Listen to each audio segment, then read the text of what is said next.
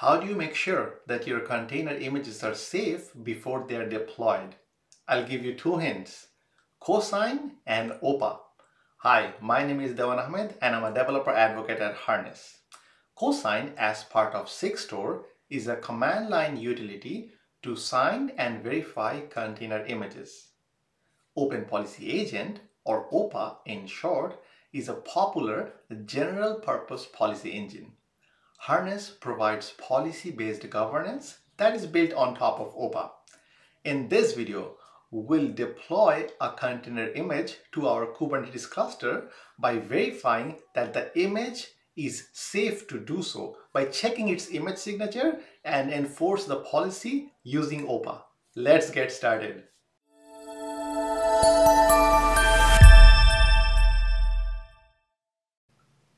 Imagine that as an architect of this project, you're tasked to create a new secure base image for the application.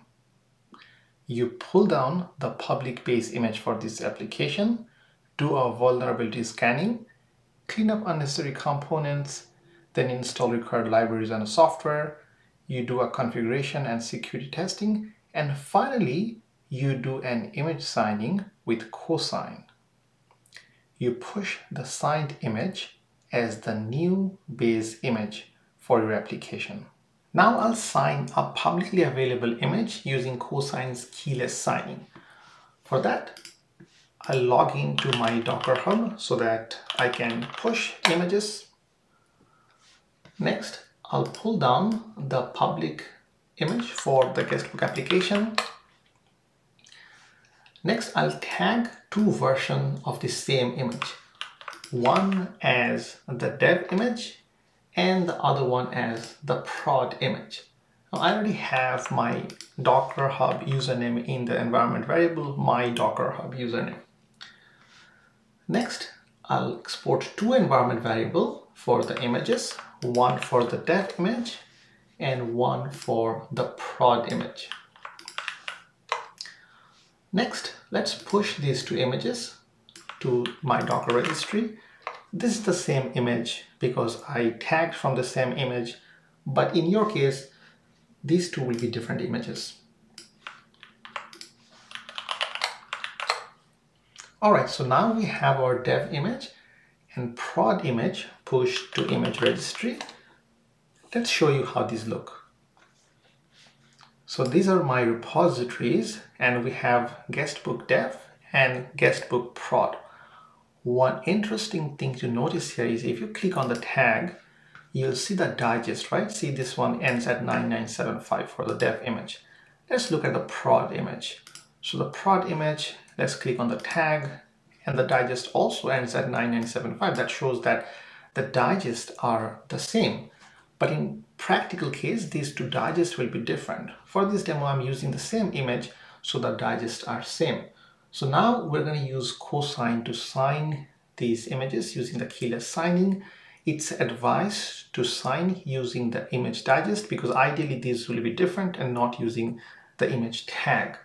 So if you don't have cosign on your system, this is the step where you need to install cosign. And I'll be adding a link in the description on how to install cosign. So if I hit cosign, you'll see that it's installed on my machine. First, let's let's uh, uh, sign the the dev image, and I have the image digest as an environment variable. I'll let me quickly echo. So these are the image digest, and I have the same for the prod image as well. So the com command is cosign sign followed by the image, and right here where I have the dev image digest. You can also put image tag instead of digest, but it's recommended to use image digest instead. So now cosign will direct me uh, to whatever OIDC provider uh, I want to configure. So let me do yes, and I'll use GitHub as the OIDC provider. You have to click authorize Sigstore and that's it. Once that's done, you'll be redirected to the terminal and this image is signed, the, the signature is pushed. I'll show you in a bit how the signature looks like. Let me sign the second image, which is the prod image. Similar step, you have to choose yes. This will open up a new window. You select your OIDC provider. In this case, I'm using GitHub to sign this image, keyless signing, close this, come back. And now that the images are signed, let me go to my Docker image registry and show you how this look. If I now go to one of my repositories, you'll see that now there is a new tag. This is for the signature itself. And you'll see the same for the other image, which is guestbook dev. So this is how keyless signing work for cosign. Next, let's use cosign verify command to verify the image signature. It takes in the image as one of the parameters and because we used keyless signing, it takes two flags, one for the certificate identity, which is typically your email, and the other for certificate OIDC issuer. You can use GitHub, GitLab, Google, and so on. The response has two parts. One part says that the following checks were performed, and the second part is a JSON response containing some critical and some optional fields. It might be easier to pipe it through JQ so that we can make more sense of this response. Now, based on this response, you can see how we can add some policies and governance before we actually deploy an image to our Kubernetes cluster. For example, if the image has a specific digest, if the image was signed using a specific OIDC issuer, and so on. Next, we'll be adding this check, but not a manual check, but more of an automated cosign verify check within our CI/CD pipeline. We'll be adding the cosign verification and OPA enforcement to an existing pipeline. The expectation is you have already watched this video and you have a typical continuous deployment pipeline that deploys an application to a Kubernetes cluster. If you haven't done that, no worries at all. I'll be adding a link to this video in the description. Once you have completed that video tutorial, you should have a pipeline like this, a guestbook rolling pipeline, a pipeline that has a single stage, deploy guestbook, and that stage has a single step, rollout deployment. Now our goal is before this step, add a few steps that will do the verification. Click on the plus button, click add step, and then from this step, from these libraries, search for shell. And under utilities, you'll find the shell script step. Click that, give this a name. I'll call this cosign underscore verify. Leave the other options as default and within the script, paste in this command. You'll find this command in the tutorial, which I'll be adding in the description. Now let's see what these commands do. The first part, which is line 1 to 3, installs cosign. Line number 5 saves the response of cosign verify command. Some of these values, they are used from environment variables that's within the pipeline. I'll show you where you can define these environment variables for the pipeline. And line number 7 to 10 parses various parts from this response and gets the value for the image registry, the digest, specific string for the image sign, and then finally which OIDC issuer uh, was used to sign your image. Let's close that. Click on apply changes and then I'll show you if you click on variables, here's where you can define these variables. So these are the ones I use for my Docker username, OIDC certificate identity, and issuer. Harness provides a very easy to click the reference of these variables. So you can click the copy button and then you can, you can copy the reference to use it within a stage of the pipeline or anywhere within the pipeline. We're not done yet. We actually have to click the step and then these variables are scoped within the step. but we want to use the, the variables or the output of these variables outside of these steps. In order to do so, we have to use script output variables. It's very easy to define script output variables. I'll show you how. Expand the optional configuration piece and here click on add output variables. I'll use a consistent naming convention. What I'll do is I'll prefix these variables with SOV underscore for script output variable. So let's do that for all four.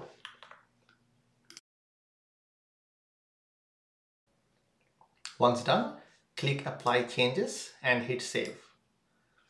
All right, now remember using console.log in your code to see if something is working or not? We're gonna do something very similar.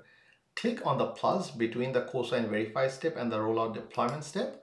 What we're going to do is add a temporary shell script step to output these variables, at least one variable to see if we're getting the right output. Let's call it 10 because we'll be deleting it pretty soon. Let's use echo and the value follows this format. Execution dot steps followed by name of the step. My step name was cosign underscore verify. You might have a different step name. Dot output dot output variables and the name of the output variable. So let's see if we can get the image registry value from this step. All right, this looks good. Click on apply changes, save, and now let's run the pipeline.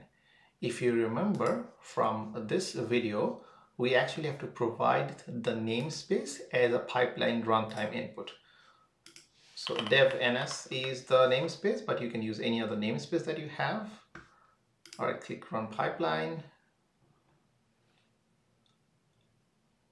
For this run, we are specifically interested into that temp step to see if we can get our registry, uh, image registry name from that temp step.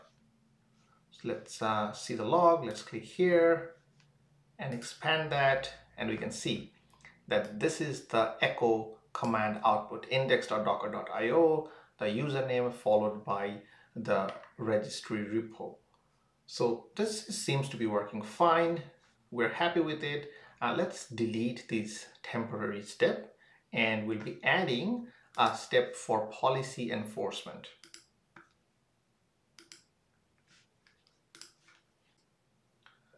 Now let's add the policy enforcement step. Before we actually do that, let's create some policies. Policy-based governance is a paid feature on Harness. From your project setup, click on policies and then click create my policy. Policies are written in Rego. Let's say you don't uh, know much about Rego and you need some help. You can click on AIDA or AI Development Assistant and ask Ada to write policies for you. For example, I said write a policy to deny any image digest not matching a specified value and Ada generated this policy for me. I can copy this and then paste it in the policy editor. One note here is that before you actually use any code generated from Ada in production, use your judgment and testing. All right, so now we actually need the image digest of our image. I signed into my Docker registry for the guestbook dev repo. And from the image 0.1, I can see that this is the image digest. The image digest will be same for both guestbook dev and guestbook prod because they were from the same image tag.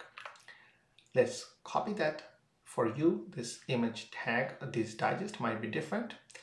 Next, click on enforce policy the policy is scoped at the project level and when the pipeline is run then the policy will be enforced and the policy failing will actually error and exit the pipeline. You're all set and let's apply the policy.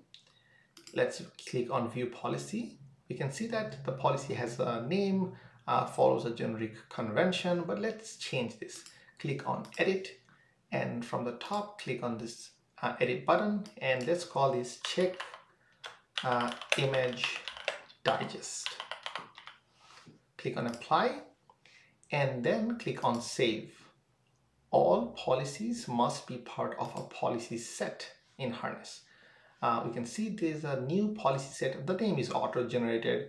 Um, I don't like auto-generated names, so let's actually go ahead and change that. Click on Edit, and let's call this cosign enforcement policy set. A very descriptive name. Uh, leave everything as is and click continue. Click on finish. Let's add one more policy. Uh, click on new policy. Let's call this check image registry.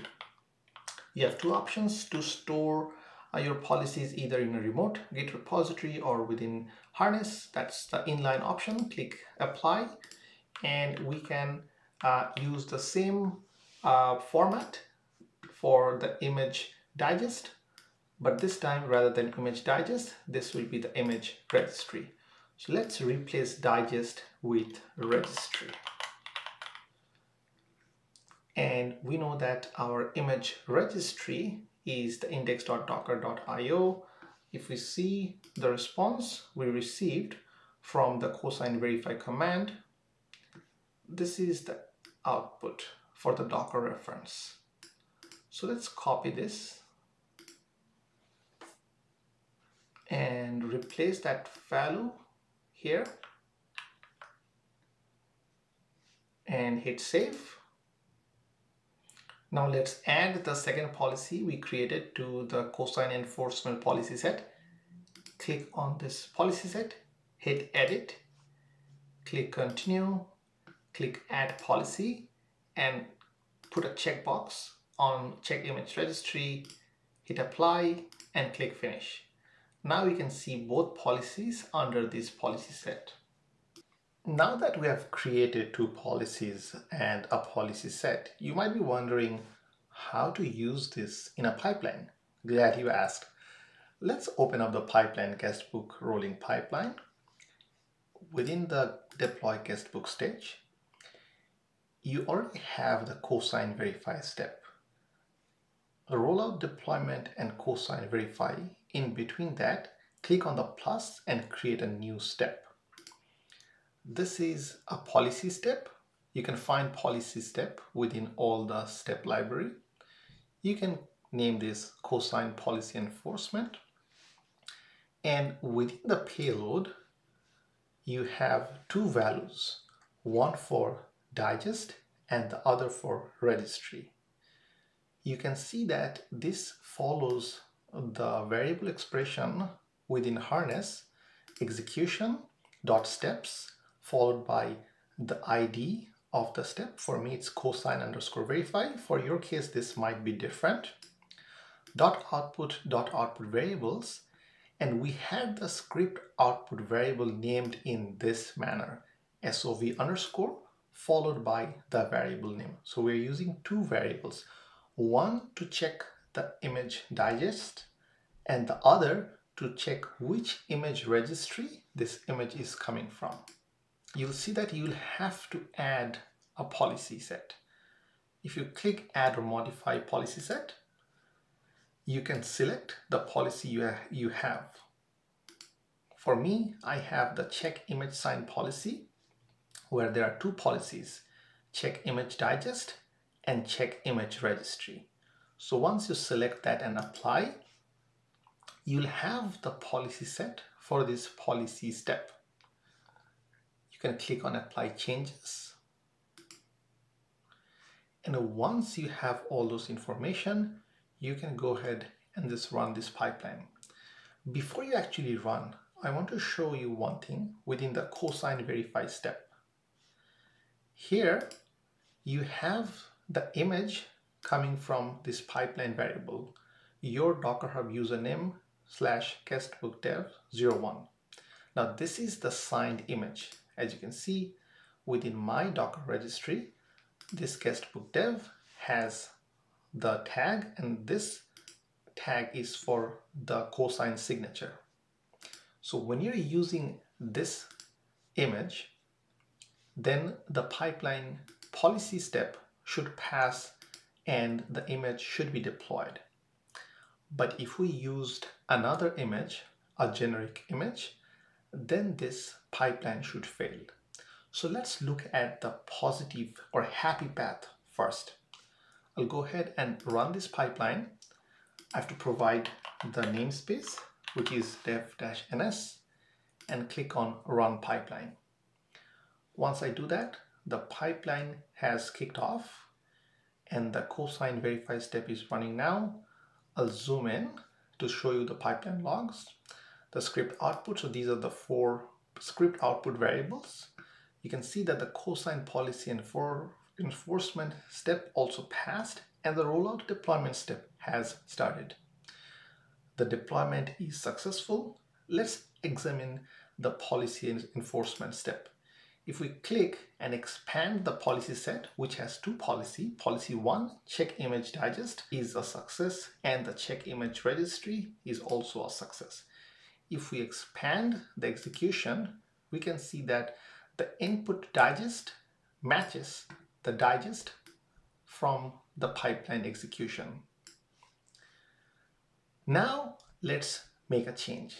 So let's go back to the pipeline and we'll update our image to use a public version of the guestbook image which is not signed. Ideally, you'd be changing this image in an environment variable and that image would be changed both in the deployment manifest as well as the verify step. But for this demonstration, I'll only be making change in this cosign verify step. So this is the public image for the guestbook application. This is coming from a different image registry, not my own Docker image registry. And this is not the image that I, I signed. So this doesn't have the cosign signature. Let's save this and now rerun the pipeline. I'm expecting that this time the cosign policy enforcement step should fail and the deployment should not happen.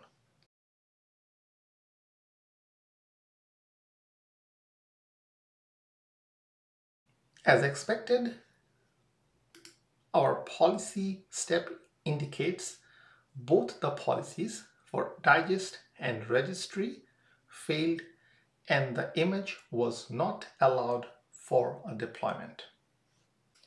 Now I have a homework for you, but don't be scared. This one is fun. So in this video, you have tested if the image has a specific digest and if the image is coming from a specific registry. But you can do more checks.